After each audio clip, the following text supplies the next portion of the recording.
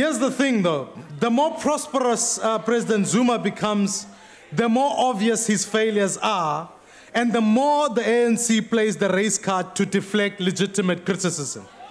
Racism is evil and we must condemn it. But it cannot be that if you are white and you don't agree with the ANC, you are called a racist. And if you are black, you are called a sellout. These are hateful insults in the context of our history.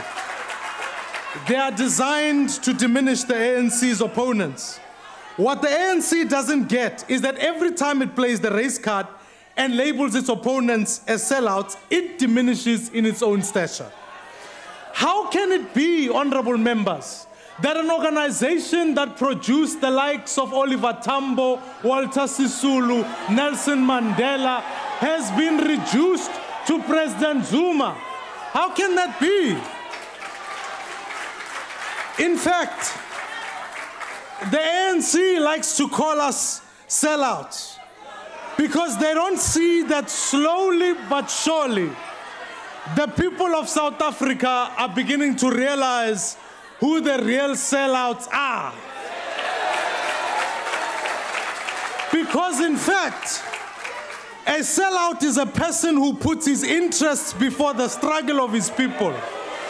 A person who secures an advantage for himself in other people's suffering. To deny your citizens freedom so that you can carry on living an unimaginable luxury is surely the greatest treasury.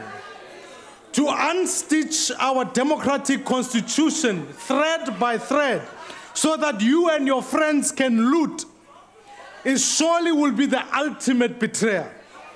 You see, Deputy Speaker, the biggest sellout in our country is none other than President Zuma.